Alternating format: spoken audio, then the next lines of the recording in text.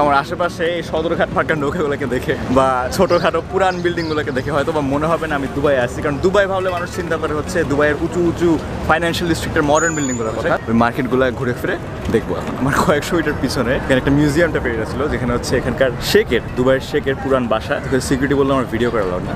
So ওখান থেকে আসলাম মনে হচ্ছে একটা পোর্ট টাইপের এলাকার পাশ যাচ্ছি কিন্তু পোর্টটা বন্ধ সব নৌকা আটকায়। আজকে প্রথম স্পটে যাচ্ছি হচ্ছে একটা হোলসেল টেক্সটাইল মার্কেট বা সুক এখানে বেশ কয়েকটা সুক আছে। অনেক হাঁটা হবে আজকে। মানে খুবই সুন্দরভাবে ডেকোরেটেড একদম আমরা বার দুবাই এলাকাটার গ্র্যান্ড সুক বা মেইন মার্কেটটাতে ঢুকবো। এই জায়গাটা দেখে আদিমকালের মার্কেটের মতো আর অনেক বেশি লাগে। আদিমকালের বিল্ডিং যেগুলো কার্পেট বেসেছে এক্স্যাক্টলি এটা খুঁজতেছিলাম ওই হোলসেল টেক্সটাইল মার্কেটে সোনারগুলো রোনালদো জার্সি অনেক পপুলার মধ্যে অনেক জায়গায় আছে। হান্ড্রেড পার্সেন্ট কাশ্মীরি স্কার্ফ দেখতেছে নরমাল অনেকগুলা সুভিনিয়ার দেখতেছি বাট এখানে আমার কেনার মতো কোনো কিছু দেখতেছি না। সো নেক্সট পরে যাব ওটার জন্য মনে হয় নদী পার করতে হবে।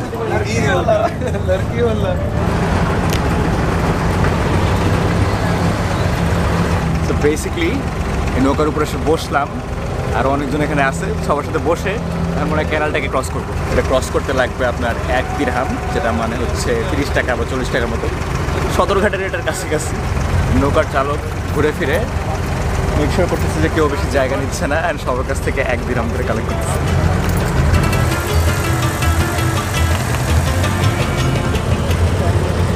এক্স্যাক্টলি যাচ্ছি জানি না বাট কোথাও না কোথাও যাচ্ছি। যায় না, কিন্তু নৌকার ছাদে কিছু লাইফ জ্যাকেট আছে, যদি নৌকা ডুবে দেয়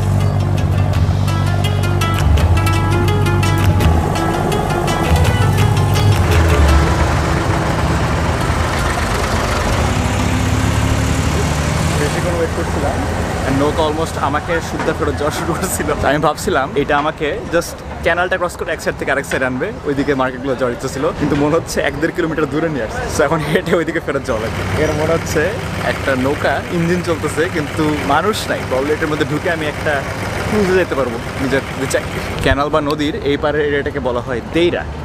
এখানে আরেকটা সুখ খুঁজতে এখন হাঁটতেছি আমি। রাস্তা ক্রস করতে মনে হয় টানেলের মধ্যে ঢোকা লাগবে। টানেলটা সুন্দর তো? এই রাস্তাটাতে অনেক মডার্ন বিল্ডিং দেখা যাচ্ছে। নর্মালি যেটা দুবাই দেখা যায়। এখানে কিছু বাংলাদেশি ভাইয়ের সাথে দেখা হলো। আমাকে দেখে চিনছে। ওরা বলতেছে আমি এখন তুরস্কে নাকি অন্য জায়গায়। কারণ ভিডিও বের হতে দেরি হয়ে যায়। এই ভিডিও বের করতে করতে আমার মনে হয় ঈদের পরে সম্ভবত বের হবে। তার আগে বের হবে না। ওরা বলতেছে আপনি দুই দিন আগে দুবাই আসছেন। বলে না অ্যাকচুয়ালি কয় তারিখ আজকে তিরিশ তারিখ। আঠারো দিন। না সতেরো দিন আগে আসছে আমি দুবাই হৃদয়। হৃদয় ভাই আচ্ছা আপনার নাম কি?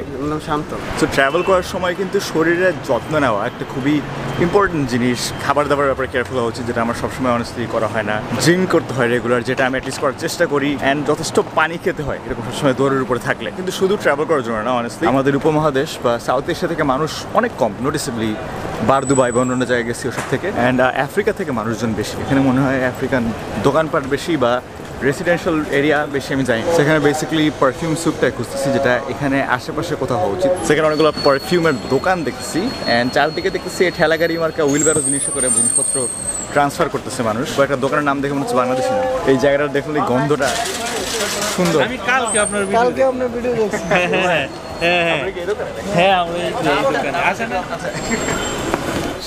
বন্ধু সুন্দর। আপনার নাম কি ভাই? আমার নাম মোহাম্মদ রাব্বি। আপনার নামটা কি? আচ্ছা। বলতেছিলাম দোকানগুলোর নাম দেখে বাংলাদেশি নাম মনে হচ্ছে। And এখানে বাংলাদেশি এক ভদ্রলোকেরই দোকান। আমাকে বাইরে ব্লক করতে দেখে উনি ভিতরে নিয়ে আসলেন। And ভিতরে বসে এখন এক কাপ কফি খাচ্ছি আমরা থ্যাংক ইউ সো মাচ এটা একটা ব্র্যান্ডেড পারফিউমের নাম। এটার ভিতরে ব্র্যান্ডেড পারফিউম হয়। এই যে এটা পারফিউমটা বানানো। এটার নাম হয় ওয়ান মিলিয়ন এই যে গুড গার্ল তারপর আছে গুচি গিলটি তারপর ফ্রান্স। আছে।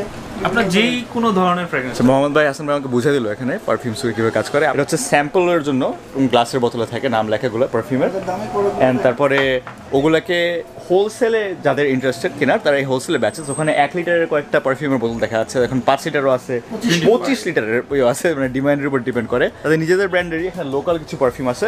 অ্যান্ড সামনের ডিসপ্লেতে হচ্ছে কি মানে দামি ফ্যান্সি পারফিউমগুলো যারা গিফট কিনতে চায় আর কি তাদের জন্য। আমরা এখানে উদ দেবো এখন হ্যাঁ? এটা হচ্ছে চারকোল যেটা আমরা আচ্ছা। কয়লা বলি আর কি। দাঁড়াও একটু এটা কমপ্লিট হোক। এটা হচ্ছে শ্রীলঙ্কার ট্যাবলেট উদ আছে। এটা থেকে একটা গ্রান আসবে এখন। সেটা হচ্ছে উদ বলে মানে আরব দেশের মানুষজন বাসায় ইউজ করে। হ্যাঁ। এই চারকোলের উপর এই জিনিসগুলোকে পুরায় এটাই উঠতে হচ্ছে শ্রীলঙ্কা থেকে পুরা ঘরে সুন্দর একটা মানে ঘ্রাণ টাইপের চলে আসে। শ্রীলঙ্কা থেকে আসে ইন্দোনেশিয়া থেকে আসে অনেক দেশ থেকে এশিয়ান দেশ থেকে বেশি হ্যাঁ এশিয়ান দেশ থেকে এটা এটার নাম হলো দেনলু। এটা অনেক ভালো এবং খুশবু। এটা কি হাতে লাগানোর জন্য নাকি? বডিতে লাগান এটা বডিতে লাগাইলে এই কাপড়ে রাখলে এগুলো মসজিদে গেলে অনেক খুশবু হুম এটা হচ্ছে শ্রীলঙ্কার এই ব্যাগটা এবং এগুলো থেকেই এরকম একটা তেল টাইপের বানানো হয় বেশি অনেক দামি। অ্যান্ড এটার অনেক স্ট্রং একটা ফ্লেভার টাইপের